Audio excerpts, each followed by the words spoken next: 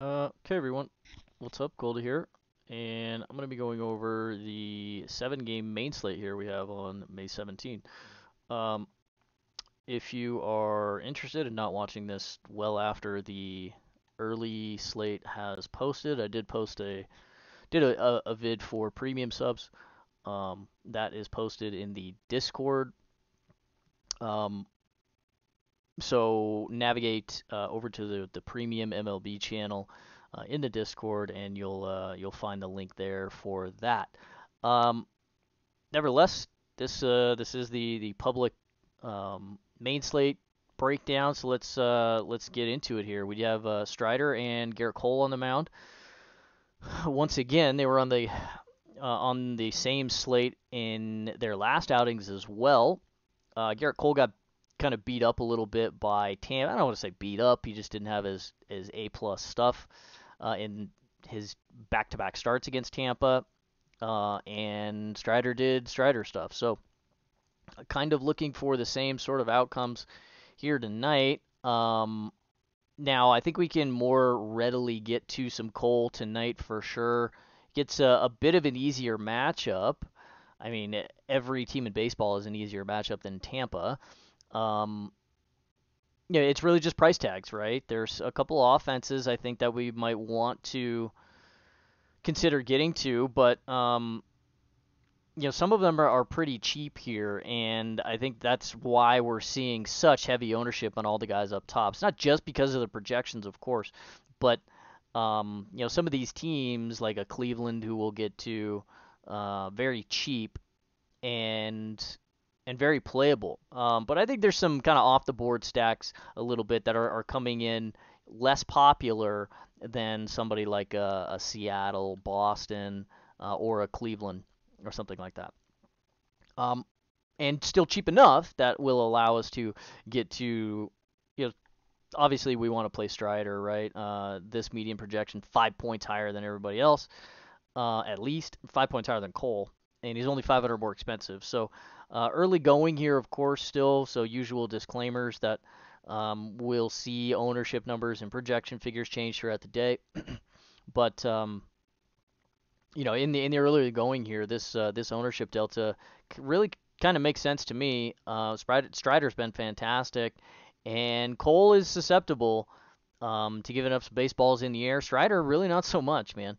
Um, the the fastball is excellent. The slider is excellent, and he's really working in the changeup a little bit more. And uh, you know, so we'll get into the pitch mix a little bit, but um, I think I'd probably just prefer getting to Strider here. He's got a little bit better matchup. Not to say that we can't get to Cole at all. Uh, Toronto is still very attackable. Uh, I played Domingo German against them yesterday. It just turns out he was cheating. So Cole, uh, unlikely to be cheating, I would say, after uh, their starting pitcher from yesterday got ejected. So I think we could play this just fine. Uh, it's just a price tag thing, of course, with both of these guys up at the top. Then we have Nathan Eovaldi coming in uh, after three very good starts uh, in succession here. we'll talk about that. Kodai Senga, I'm still not touching this. We'll talk about that. Down on the lower end, uh, some red numbers, of course, from guys like Josh Fleming, who pitched to a lot of contact in a bad matchup, Marco Gonzales, who pitches to a lot of contact in, a, I mean, kind of a bad matchup, too. Uh, Clevinger gets Cleveland, bad strikeout matchup there. Peyton Battenfield doesn't have any strikeout stuff in kind of a subpar strikeout matchup as well. Brayan Bello um, gets Seattle. So some questionable spots down here on the cheaper end. Uh, maybe somebody that's pretty underpriced, I think, in, in a Chris Bassitt. So let's uh, let's just get into it here uh, and start with this Yankees Toronto game. Here's Cole. Like I said, at 11-5, there's nothing wrong in the arsenal or anything. Um, you just had Tampa in back-to-back starts, and you're pretty much every pitcher in baseball is going to struggle.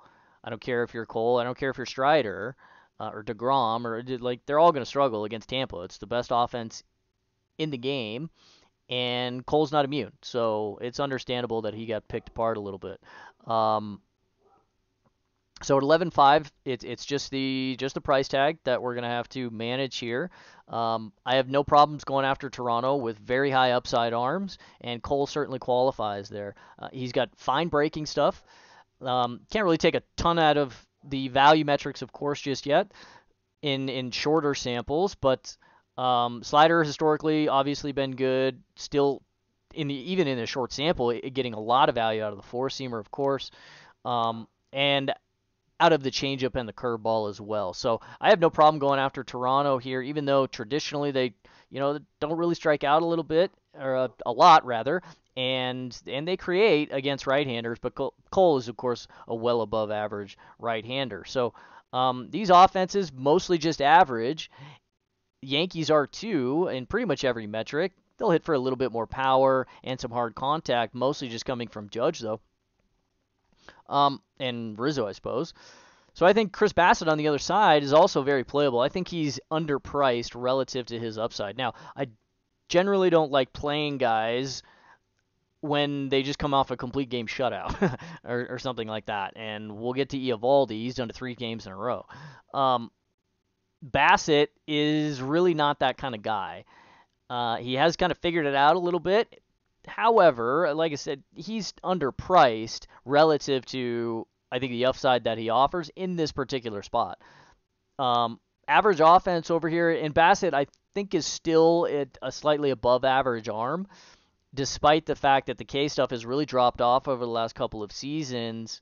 Now, this isn't really like early season noise or anything. Uh, he was really kind of poor last year as well. It was really when he was with the Mets at 23, 24% strikeout rate. Um, and I guess coming over from Oakland, where he he excelled in in that area. It's dropped off, definitely, and he's more of a pitcher anymore, but throwing six pitches here, and that makes it difficult for opposing lineups to navigate, even if you're not getting a lot of value, right, out of any one of the pitches. Um, he's still establishing very well here with the sinker slider combo, and that's keeping him down in the strike zone uh, a little bit more. The with such good plus value here in in the early going at least uh, on this slider, this cutter will be better. Um, very similar pitch grips, just not going to break as much as the, a raw slider here. So this will be better, and the changeup should also be a little bit better than the realized value so far. He struggled in his first, whatever, five, six starts um, to really kind of get going, and it seems like he's kind of really putting it all together here. He's had, uh, I guess, in his last matchup when he threw the complete game shutout, he got Atlanta. It's a very good offense over there. Went the full nine and struck out eight. Um, so the K stuff is is probably still going to be a little bit underwhelming overall. However, that's kind of priced in here at 7400 and I think we can still attack a little bit of the Yankees because as we mentioned, just an average run creation offense so far. Getting healthier and et cetera, et cetera, as we talked about for the last week or so. You can play Judge. He's gotten a price drop down to 6,000 after hitting three jacks in two days. Uh, you can play Rizzo as well, 4,600. That's probably where it ends for me for the most part. I don't really want to play Gleyber here or DJ necessarily. If you need to make it a little bit cheaper and stomach the judge price, you can play Jake Bauers. He's still 2,000. Uh, but I'm kind of off of a Harrison Bader, Volpe type play today from the Yankees, and I think I'd rather just play some Chris Bassitt. I like the ownership here at this particular price tag, uh, and I think he's a pretty high upside um, pretty high upside play for this price.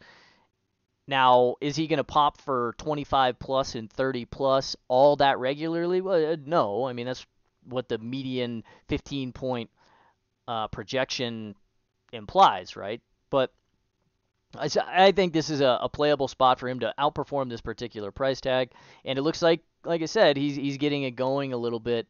Uh, even though I don't like playing guys after uh, outsized performances like that, um, I think the price tag is kind of uh, forcing my hand here a little bit. So I'll have um, yeah, a pretty decent bit of Chris Bassitt, I think, and of course some Cole. Uh, I'm not playing any Toronto here. I don't care who it is. I just don't stack guys against Cole usually, unless it's a super high leverage spot. Um, yeah, and I don't really think this qualifies. Uh, we'll have to keep an eye on Vladdy. He came out of the game last night. He's probably going to get a day off, and he's like their best contact hitter. So um, maybe a guy or two starting to heat up a little bit. Bo Bichette having cooled off a lot since his early season barrage, maybe figuring it out and and popping out of this little cold spell he's been in. Same thing with George Springer. Um, but everybody else been pretty cold outside of Whit Merrifield, who is just he's like Rickey Henderson over here. Um, so I'm not super interested in playing any of the Blue Jays. Mostly just pitching here for me, and maybe like a short stack of the Yankees, Judge, Rizzo, Bauer, or something like that. Okay, let's move on. Tampa and the Mets. Uh, Josh Fleming gonna come in here and spot start for I, I call it a spot start for the Rays. Um, he's started a couple of games, I guess just one. He's been mostly coming out of the bullpen because he pitches to so much contact. He just doesn't have any strikeout stuff, and this is why they had to move him to the bullpen. 84% full contact rate, and this is not a recipe that we want to be messing with when going after the Mets. This is a high contact offense, and that's how they're really built. Don't strike out a lot, don't hit for a lot of power, uh, but maybe a, a, guy or two, in particular, Pete Alonso, 5,400. He hit a ball out yesterday. Hopefully, starting to see the baseball a little bit better. Frankie Lindor, still expensive at 49. Nimmo, 47, expensive for him, too. But the guys down at the bottom half of the lineup, very playable uh, and very attainable price wise. Jeff McNeil, just a contact hitter, but it hits lefties okay. 3,900 for him. Josh Fleming is probably only going to go about four uh, four innings here. Um, for the uh, for the Rays, unless he's really rolling, and I don't necessarily project that. Uh, it might be hard for the Mets to get there because they're still going to see a little bit of a bullpen game here from Tampa. So we generally don't like doing that and stacking teams in bullpen games, but I think it's an okay spot to get to some of the Mets here. Maybe some short stacks because Fleming pitches to so much contact. He's just not going to throw by these guys, and they're not going to strike out, as we showed a 20% aggregate K rate. Um, hard to get there though with full Met stacks in general, but this is a seven-game slate. It's pretty short here, and I think we can consider getting to to some of them and targeting some Fleming. Kodai Senga on the mound? I'm still not doing dealing with this. Uh, now he did only walk one batter in his last outing, but I don't care. uh, he had six outings before that where he walked at least four guys in pretty much every single one. So uh, I'm not dealing with it. He has no chase in him, despite the fact that he's getting some whiffs on the splitter, um, or this ghost fork, whatever they call it. Uh, I'm I'm not dealing with this. Uh, the, the walk rate is too high, and he elevates his own pitch count, and the price tag's still too high. So no, thank you. Uh, against Tampa, I'm not. We saw what they did to Verlander yesterday, and I'd be much more apt to play Verlander than uh, against Tampa or Gerrit Cole against Tampa, for example, uh, than a guy that's walking 15% of his of the hitters he faces. It's just not happening. So uh, way too expensive for me. Um, I know the strikeout stuff is there, but this is Tampa, and they're only striking out at a 22% clip in aggregate against righties, and they're walking a little bit here at a 9% clip. It's not super high, but uh, 9% for an aggregate team rate is, is a pretty notable number. They're going to hit the baseball in the air and make a boatload of hard contact here. 36% in aggregate at 137 WRC plus. So much power. They can get there against every single arm in baseball, and especially when you start putting guys on base for free. I am not going anywhere near this. Uh, hopefully, he makes me look like an idiot sometime soon because I'd really like this arm to be good, but I cannot touch this at this price given this walk rate. There's just way too much variance for a guy that's only going to go five, five and a third because he's walked everybody. No, thank you. Uh, so give me some Tampa in that in that respect. I think you can play all these guys. They're at a little bit more playable price tags than they have been recently, um, but they still got cheap guys down at the bottom of the lineup that you could play. Luke Raley, Jose Siri, uh, turned into Ted Williams last night somehow, stole the base too. Uh, Frankie Mejia behind the plate, he's playable at 3,000. Taylor Walls has a little bit of pop from the left side this season at least. Um, he's 3,800. You could play him. Josh Lowe still expensive at 49, as is Randy at 56, and Brandon Lowe at 47. Wander 58. So you got to pay for those guys, but they're going to kind of anchor your stack here and if you want to get to full five man Rays or just four man Rays, something like that, I think this is a very playable construction here, targeting a very high variance walk rate in Kodai Senga. So no pitching on the mound here for me, uh, just offense, mostly Tampa. Uh, but you can get to some Mets as well. I do like a Pete Alonso at 5,400. I think it's a pretty decent spot here.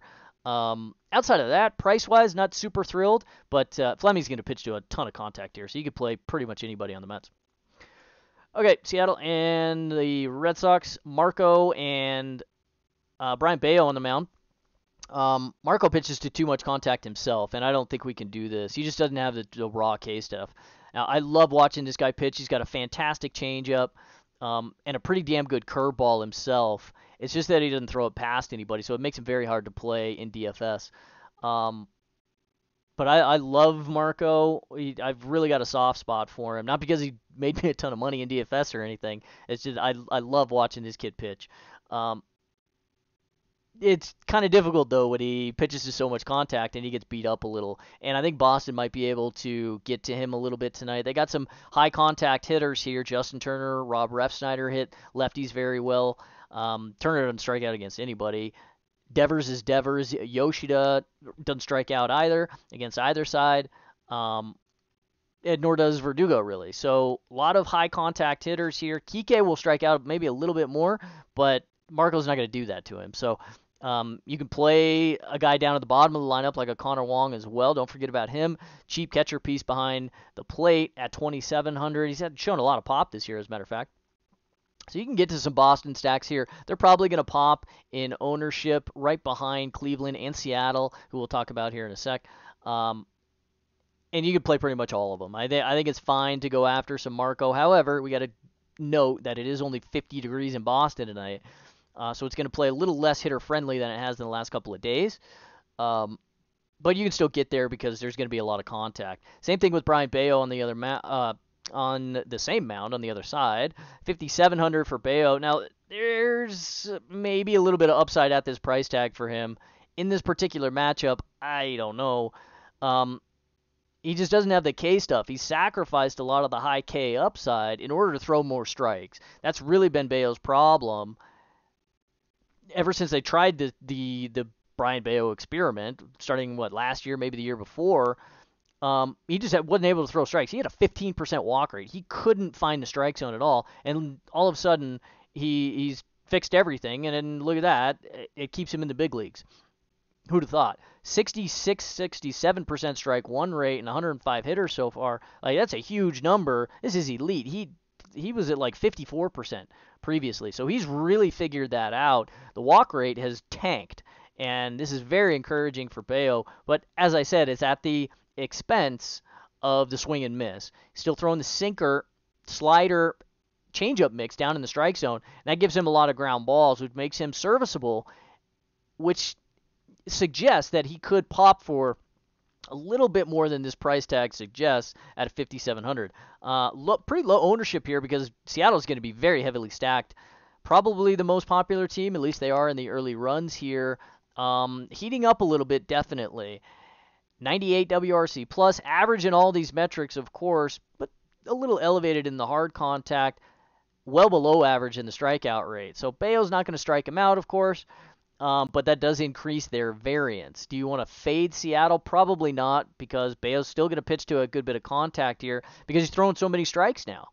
Um, and with a changeup, he'll be able to neutralize some of these lefties, like a Jarred Kelenic and a Cal Raleigh or something. But with a two seamer, marginal two seamer, uh, you can still play some of those lefties because they're still going to see it quite a bit. He'll throw the four seamer a little bit more to the to the left side and try and stay off of the sinker a little bit, but uh, he's still going to have to throw it to him because with the fastball mix, that's a full 58% of the arsenal nearly. So, um, you know, good four pitch mix for him here, and like I said, throwing a lot more strikes, getting bludgeoned here with the slider here so far, and that's why he's given up so much power. So, I probably prefer to stay off of some of the righties if I'm going to try and get contrarian with some Seattle stacks. Play some of these right-handers that are very cheap, like a Ty France. Julio's not going to be contrarian, but he's 5,300.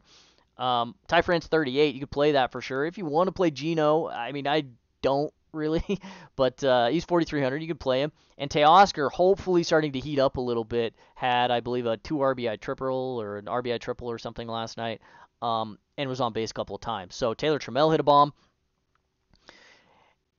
as as well last night. He'll hit fine from the left side, really be able to lift the baseball, which is what you want to see when you get you've got a high ground ball rate guy like a Brayan Bello to the left side. Um, and once again, he's got a good changeup, so I'm not super crazy about playing a lot of the lefties here. Kelenic, after his uh, 0 for 5 last night. Got a price bump to 4,800. Still a fine spot. He's still a fine hitter, um, but might be cooling down a little bit. And the risk is is kind of you know priced or we're getting priced out, I should say, um, with Kelenic now. So J.P. Crawford had a, a, rough night last night as well. He's still playable at 3,200. So you can make this happen with a couple of these lefties. I'd probably prefer to get to some of the righties, though. 313 average allowed because he's pitching to so much contact. 409 Woba and a 312 ISO to the right side with some strikeouts there, but so much hard contact here. I think we're going to be able to get to Seattle a good bit.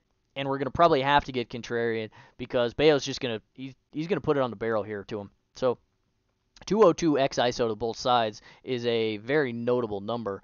Um, realized 2-0 homer per nine, short sample, yeah, just five starts and and 23 innings here. But I think uh, the hard contact rate is really going to persist uh, a bit more for Brayan Bello as he throws more strikes. So um, offense really only here for me in the in the Seattle Boston game. But notable that if you want to get off, it is only 55 degrees in Boston, and it plays much more pitcher friendly when the weather is cool. Okay, Milwaukee and St. Louis. Um, Ay, ay, ay. Corbin Burnes here. I think he's also underpriced, similar to Chris Bassitt, right? I think Chris Bassitt's probably more underpriced relative to where he should be than Corbin Burnes is. Like, I don't think Corbin Burnes is a 10-5 arm anymore. Uh, and that's because he's only got a 21% aggregate K rate anymore, and the walk rate is kind of ballooning. Now, yeah, we do have a shortish sample here, um, but 45 and two thirds, 45 and two thirds, and that's how this is trending. Strike rate is, is fine, but the chase is not.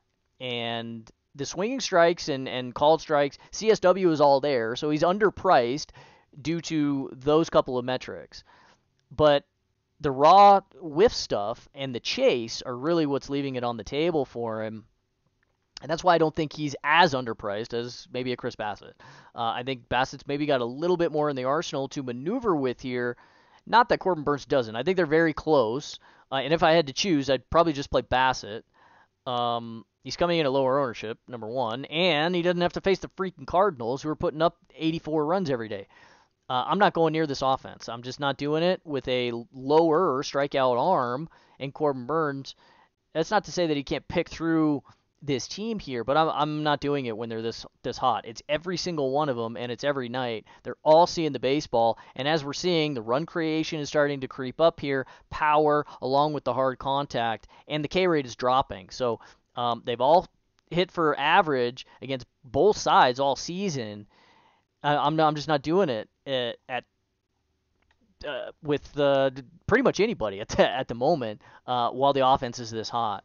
Um, so I'm not interested at all, really, in Corbin Burnes. I mean, don't get me wrong, like he's underpriced, so I'm probably gonna have to have some, and probably gonna end up landing on some, because the projection will, I think, dictate that. But man, I, I I'm really gulping here. I don't want to play pitchers against the Cardinals right now.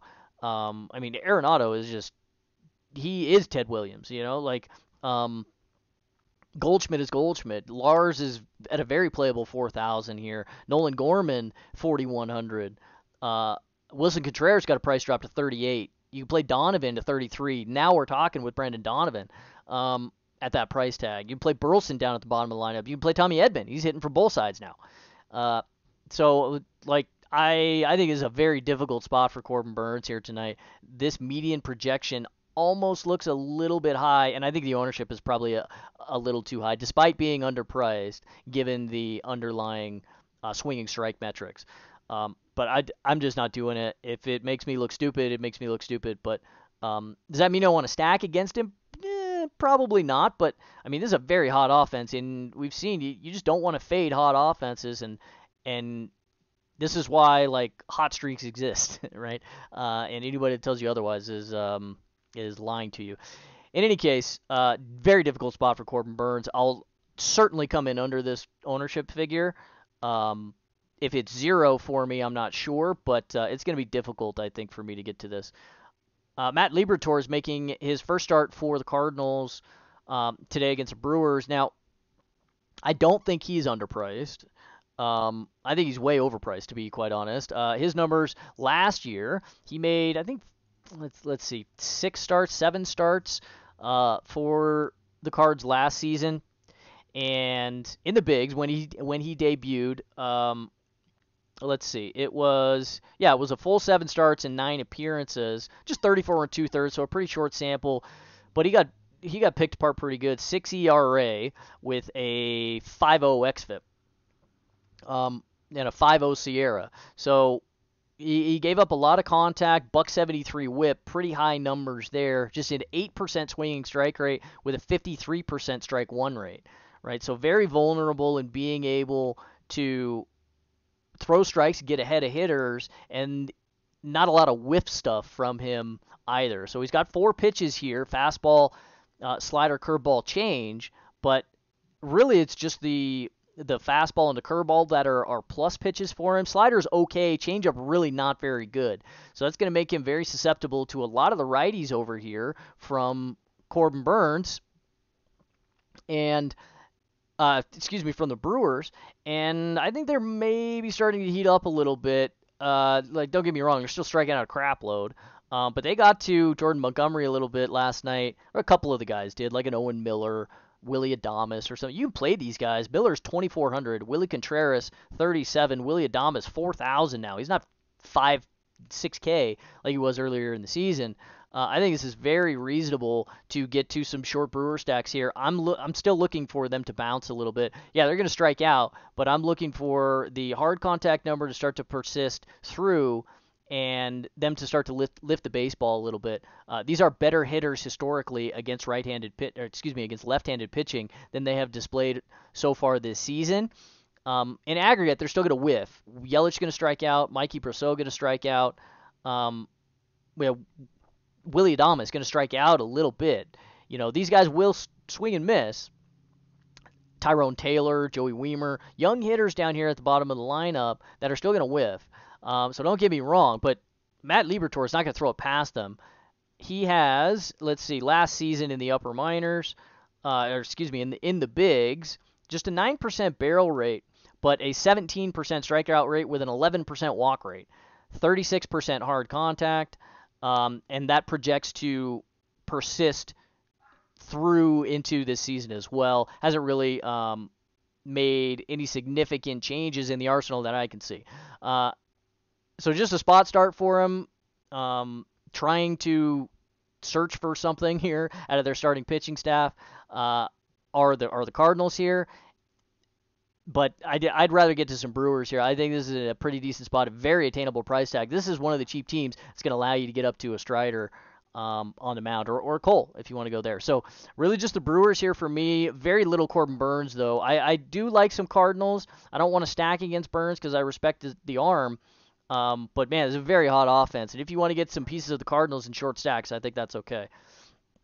All right, Atlanta and Texas. Uh, Strider on the mound at twelve thousand. It's just the price tag that you know. I got no problems going after Texas here with with Strider. Uh, they're going to strike out, and even though I like playing Texas a lot, they're an underrated lineup, really. They may very well get their best hitter in Corey Seager back tonight. Uh, but if he's got like I don't know, just bubble guts or whatever he's got going on, they may very well just sit him today because he gets Strider. You know, this is not a good matchup. Uh, as I mentioned, four seamer is excellent, slider is excellent, and he's throwing the changeup a little bit more, so he's getting more confidence in this pitch. As soon as he starts to really believe in it, uh, I mean, he sh- he'll be 14,000 next season uh, when he starts throwing this changeup more than 10% of the time. It'll make him completely unhittable. And I'm going to say this pretty much every start for him. So, it, like, the arsenal is excellent. He's got a 43% strike or raw K rate with a 20% swinging strike rate this season. It is astronomical. Um, the value that he brings in terms of DFS. And that's really what we're after. He'll give up three runs sometimes, maybe. We don't really care because he's going to strike out 12 guys. So give me all of this, the Strider, and it's going to be very hard at this projection relative to everybody else, even to Cole, and even with his price tag, for me to not get 100%. I, I, I just don't see it happening. It's super difficult unless you manually cap the ownership that you come in with him. Um, it's just too high. The, the upside is just too high. He has 40 point upside every single time he takes the mound. Um, Nathan Eovaldi, evidently he does too. Uh, he's had three very good starts in succession, as I mentioned. Um, this is really not who Nathan Eovaldi is, however. Uh, he gives up a lot of power. It hasn't really done so this year, and obviously in, the, in his last three starts, he's gone nine, eight, and eight and two thirds innings with eight Ks, five Ks, twelve Ks. Uh, so very encouraging from Nathan Eovaldi. I don't think this is who he is, however. He's still not really changed much in the arsenal. The usage is the same. He's just getting more value out of the four seamer and getting more value out of the split Curveball value is relatively static year over year. Cutter value static. Slider value static. I mean, static. It, it's still a bad pitch. Still doesn't eke out a lot of value, but losing 10 outs to the field on a 4% usage pitch is, you know, not good. Um, that said, he's just eking a ton more value out of the slide or the, the splitter so far and a, a lot more value out of the four seamer. So that's what's allowed him to establish early in counts 65% strike one rate, huge chase with all of the split value. CSW north of 30%, pushing 31 here. All of this is great. This is the results, and it, they've been fantastic. Don't get me wrong. Um, but as I mentioned with Bassitt, I, I don't like playing guys when they've had outsized performances to their historical averages. And Eovaldi's now done it three times in a row. Like the guy does not average eight innings every single start and he's done it in each of his last three. So I'm looking to fade that type of stuff, and he's coming in with not as much ownership as I kind of hoped. Uh, but kind of makes sense here. Just 15, 16%. It's fine to get some exposure to him because Atlanta's still going to strike out, and he's been very, very good. But this is one of the best offenses in baseball. Um, and despite the fact that they haven't really created just yet against right-handed pitching, similar to the Cardinals, they're going to like these numbers are going to come up because they make a lot of hard contact and hit for a good bit of power and walk a lot. So they're going to make it more and more difficult on opposing starters. And this run creation number is going to come up.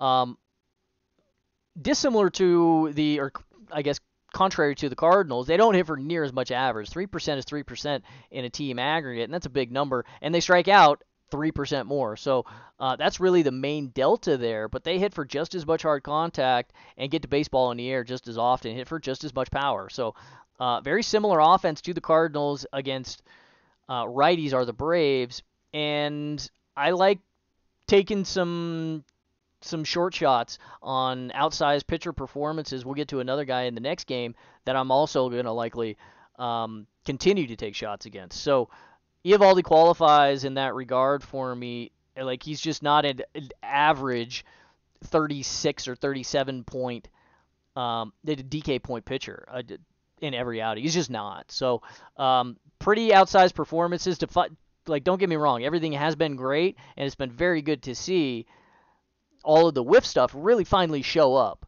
But he still gives up power historically, doesn't induce enough soft contact for me, and shorting those those results is, uh, I think, an okay approach. Um, I think he's overpriced for where he is, where he should be historically. He's not overpriced for the results, but you know, earlier in the season he struggled against Kansas City twice. Uh, he struggled against Cincinnati. He struggled against the Cubs. You know, they were hot at the beginning of the year, whatever. Um, and and Philly. Those are roughly 15 point outings in each one of those. And all of a sudden he gets the Yankees in a plus matchup. Oakland in a very plus matchup, and LA in an okay matchup. Um, and he and he really excels. So I think yeah, we may be seeing a little bit of noise come through. Definitely in this price tag, I think it's too high, and he may may make me look stupid.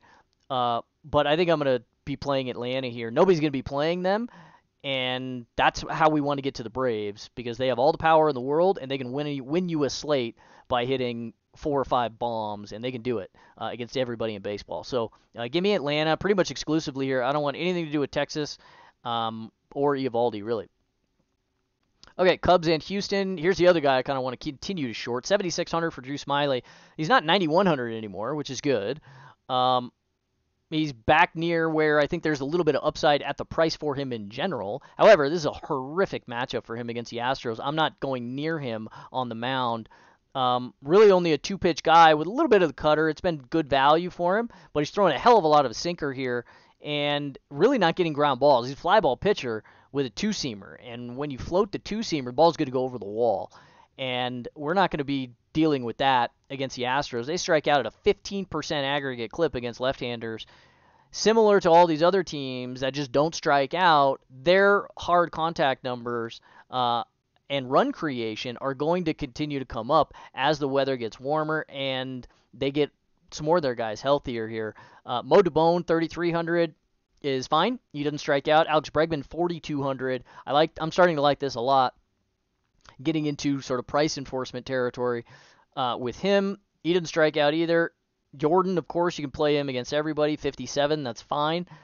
Kyle Tucker, 51, also fine. Uh, Jose Abreu, 2,500, not fine. I mean, price tag's fine. Uh, the fundamentals are not fine, but yeah, you can play him. 47 for Pena is still stiff, but a Chas McCormick or a Corey Julks down at the bottom of the line, they can make it a little bit cheaper for you, they're not going to strike out all that much against left-handed pitching either. Um, nor will Martin Maldonado, who really doesn't have a whole lot of upside, but um, you know, he's 2200, he's catcher piece. If you're stacking Houston here, and I think that's pretty warranted, uh, you can play pretty much every one of these dudes. And I think that's a fine approach. Uh, they're coming in kind of down the list a little bit, maybe fourth or fifth in ownership so far of the 14 teams on the day. So I think there's a good bit of value targeting some Drew Smyly. I'm not going near him. Uh, so much rather just play Bassitt. Um, JP France on the mound for the Astros. I yeah, I really want to play this guy, man, but I I don't think I can do it here at 79. Maybe I'll land on some in some correlated teams or something. Um, but I think the price tag is generally a bit too high. Now he does have five pitches that he's throwing, so that's good. Short sample here, so we can't take anything out of the value in just 44 hitters that he's seen in his two starts. But we can take, as is usual, value out of the, the, the strike one rate, and it's 52%.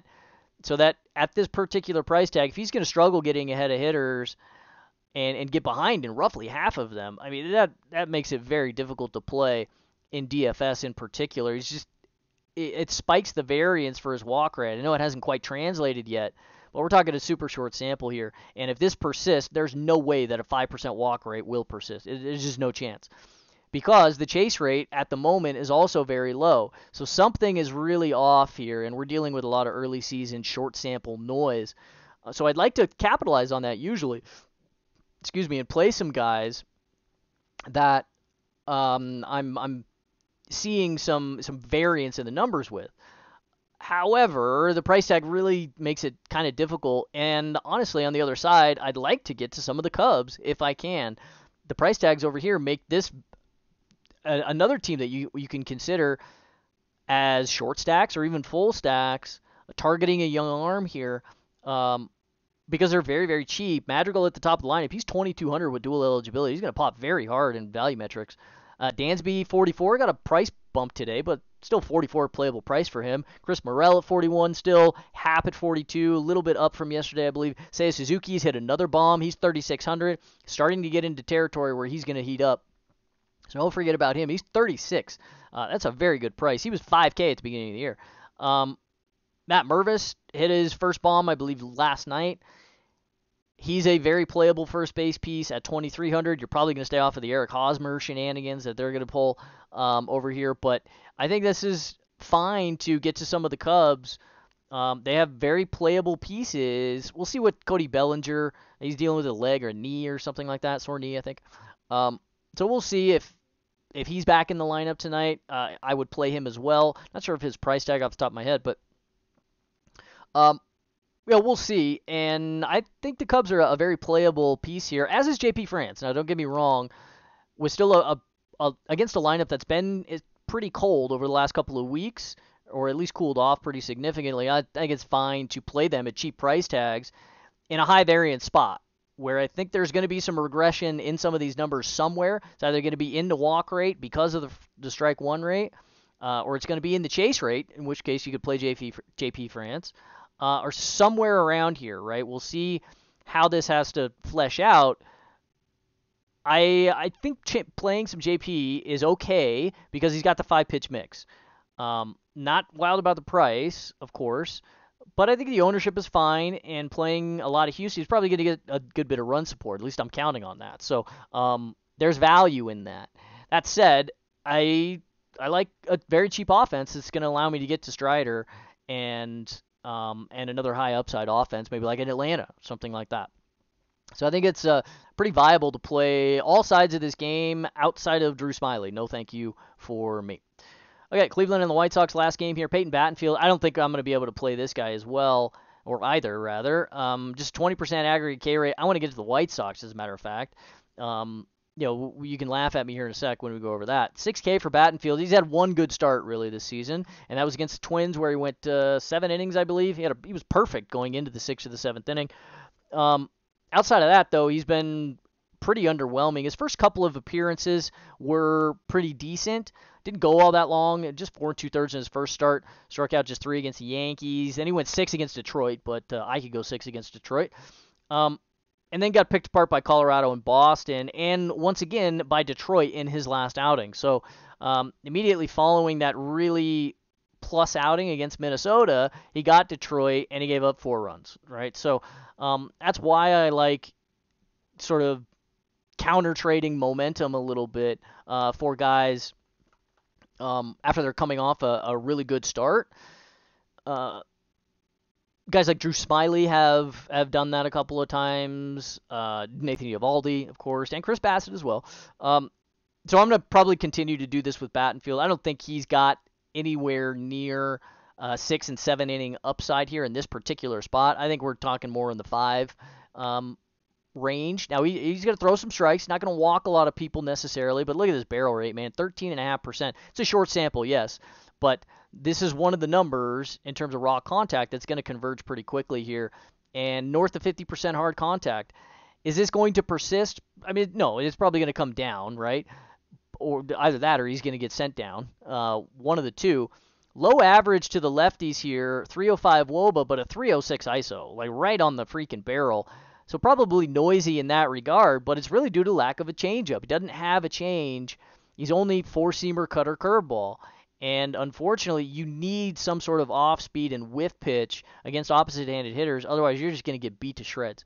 And that's really what we're seeing with Battenfield here. So, um, that's the lefties, and that's Yoan Moncada territory. You can play some Gavin Sheets. That I, I like that a lot. 2,500.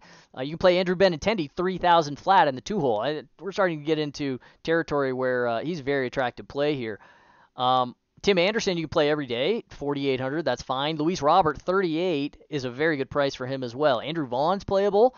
Um, Jake Burger's playable. You can play pretty much everybody. Really, the only guys I don't want to play are like uh, Yasmani Grandal behind the plate, or uh, Hanser Alberto, or whatever they do at the bottom of the lineup. Um, so pretty much everybody else I think is well in play here, and they're not going to be near as popular as Cleveland on the other side, who you can also play.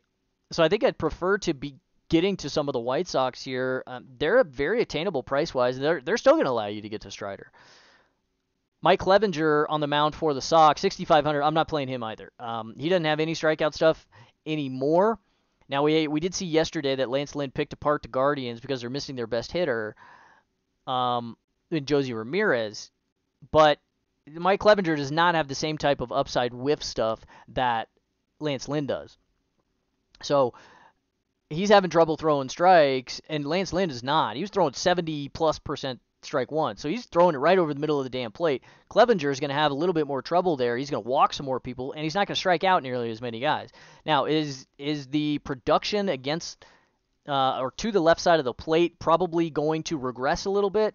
Yeah, I would say so, but probably not to the same degree that it was likely to regress for Lance Lynn yesterday, if that makes sense. Um, Lance Lynn had been horrible, and he was probably a bit underpriced in hindsight. I, I still didn't touch him. Don't get me wrong. I didn't play any of him. Um, but Mike Clevinger is probably not as underpriced as Lance Lynn was yesterday. So similar to the kind of Chris Bassitt and Corbin Burnes dynamic that we got today, I, I think Clevinger is less underpriced than he he probably um, you know, is he underpriced? Yeah, maybe. He should be like 7,200 or something like that in general for this type of arsenal, I think. Um, you know, what, four pitches here, mostly four seamer slider guy, but he mixes in the curveball cutter change. Um, should he be in the 7Ks? Yeah, probably. Could he squeeze out 18, 20 points against Cleveland? Yeah, since they're missing their best hitter and this offense is dreadful. They are so bad, man. 108 ISO, 25% hard contact rate, 78 WRC plus. Yeah, they don't strike out, but now that they're missing Josie Ramirez uh, for the next couple of days, um, is that attackable with a below average arm? Yeah, probably. If you land on a couple of Mike Clevinger teams, am I gonna just humiliate you? Uh, I mean, no. Uh, like, am I gonna go out of my way to do this? Also, no. Um, so I would like to get to a couple of Cleveland pieces. I think they're playable, like a, in particular an Andres Gimenez. Himmy will probably be in the in the four hole, I would guess today, or the three or the four hole, something like that, because they also lost Josh Naylor last night. So um, he'll probably get a day off. It's unfortunately Josh Bell, who you're going to have to play in stacks at first base, which kind of stinks. Um, but he's okay from the left side. It is his better side. Steven Kwan at the top is still fine, 4,400. Med Rosario not jacked about that, but um, you know you can play him in stacks. Uh, Will Brennan is probably where I'd I'd like to go in the outfield instead of like a Gabby Arias or um, you know maybe a, a Brayan Rocchio. They, they just called him up. Yeah, he's a high upside prospect. He's a stone min. You play him at like a shortstop if you need to get there. So plenty of value as we've discussed all day from some of these Cleveland bats. That's really what's making their ownership number pop so hard in the early going here because it's certainly not because of you know equity uh, or anything like that. Um, now is going to give it up, yeah, but uh, I mean this team is terrible. So can you play Clev? Sure. Uh, I'm not going to go out of my way because I'm really not uh, the like all that intrigued with a 19% K rate against a team that strikes out at 19-20% clip. Um, you know walks and and barrels and like it's just not attractive to me. So um, probably mostly going to get to offense here. Very little pitching. It would be maybe some Clev. I don't think I'm going to go near Battenfield at all. Uh, but I like I like some White Sox here. They're a little bit uh, down the down the board in terms of ownership so far, and I think we can play that. So. So that's it for the breakdown. Um, let's quickly go over stacks here. I like pitching pretty much exclusively in this game. Not going to go out of my way to target these guys. Uh, offense only, I think, in the in the Mets game. I want Tampa for sure against Kodai Senga, especially if he's going to get any ownership. Uh, 18, 20%, like no thank you with a 15% walk rate. I'm I'm out. Um, probably offense only here as well. Now, uh, Marco at 71, I just don't think you can play. He's just super difficult to get there within DFS. At 71, yeah, not great. Uh, Brayan Bello, he's a bit more underpriced at 57, but he pitches to probably too much contact anymore uh, against this particular team over here in Seattle. I, I think we just get to offense here in this game, but only 50 degrees in Boston.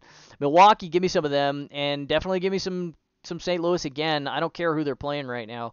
Uh, even Corbin Burnes, who I don't like stacking against generally, uh, and usually with more lefty-heavy teams. We'll see how they want to platoon against him tonight. But uh, I think you can play the Cardinals again. And it's 80 degrees in, in St. Louis, so yeah, give me that as opposed to Boston. Um, maybe some Corbin Burnes though, for sure. I think he's underpriced, definitely. Atlanta and Texas, uh, Strider and and the Braves here almost exclusively. I'm, I'm just not going to deal with the Eovaldi. I, I think the performances over the last three games are too outsized to his career averages, and I think that's going to regress. Uh, and I'd like to go after him with a high upside offense. Um, Chicago and Houston, give me some offense here too. Maybe some JP France also, but I think the Cubs are playable because they're cheap, and Houston is also very cheap and playable in a very good spot against Drew Smyly. Cleveland and the White Sox again, just offense. I think down here. So I'm I'm gonna be pretty targeted here on the mound. It's gonna be a lot of Chris Bassitt, a lot of Cole, a lot of Strider for me. Um, I don't know who else I'm gonna play. So you know maybe I just mix in a ton of teams and just lock those three guys in and just kind of see what happens. Maybe some JP France. I mean I don't know, but um, that's uh, that's pretty much it for me, guys. Uh, once again, keep an eye out for projections updates, and also if uh, as another reminder, we do have the uh, early slate vid posted in the Discord. Um, so go to the premium MLB channel and look for that. So good luck tonight uh, on the early, on the main, whatever you're punting, uh, or in the betting markets for that matter. And we will catch you guys for Thursday.